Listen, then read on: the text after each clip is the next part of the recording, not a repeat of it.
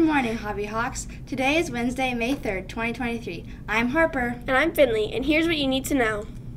Today's lunch will be cheese enchiladas, spicy chicken sandwich, or Southwest chicken salad.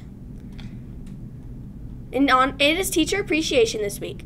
Students, be sure to thank a teacher and let them know how much they mean to you, because it's a little known fact that teachers love grading homework almost as much as they love give, to give it out. Teachers, in honor of Teacher Appreciation Week, today there is a popcorn bar set up in A150, the room next to Miss High's office. Good luck to all the 8th grade students today that are taking the Social Studies STAAR exam. Sixth and seventh grade students, please keep the noise volume down as they work on their exams, and also be sure that you know where your classes have been relocated if you have a class in the A hallway. Attention all students wanting to play sports next year. We will have a sports doctor on campus May 4th after school in the main gym performing athletic physicals for $20. All 6th grade and 8th grade 8th graders playing sports must get a new one. See Coach Cavazos or Coach Smaby for paperwork needed for this event.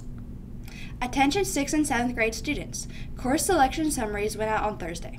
If you need to make any corrections, they are due to the counseling office by May 12th.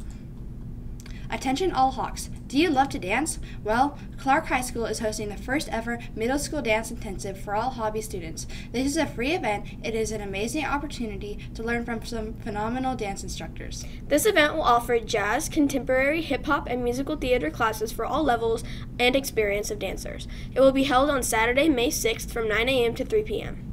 Please make sure to register with the QR code and direct any questions to Coach Countryman. Look for posters around the campus.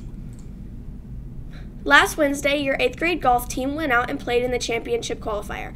The 8th grade girls played some great golf and took the top four spots. In first place was Kaylin Ferenkak, second place, Amelia Shannon, third place, Kelsey Zimmerman, and in fourth, Avery Cortez. They will be playing in the district championship tournament on May 10th. Also playing with them will be the 8th grade boys team. Carrying the team was Caden Cox, who shot a 38, taking first place on the boys' side. Well done. And today, your 7th grade golf team will be playing in the Zone C Championship at Oak Valley. Good luck to all golfers. Hola, come join us on Friday, May 5th for our final Spanish club for this year.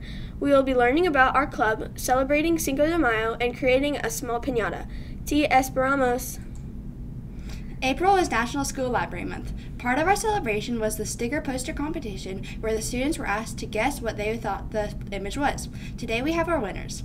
They are Leona Johnson, Stephen Hicks, and Julian Molina. Please stop by the library either before or after school this week to pick up your prize. Do not come during the day as there will be star testing and makeups the rest of the week. If you do not come by Friday afternoon, Miss Fox will deliver it to your class. Congratulations to all our winners.